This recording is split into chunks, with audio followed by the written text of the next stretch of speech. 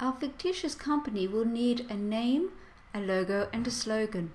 It is up to you and two others to organize this. Please organize it as quick as possible because we need to make your ID.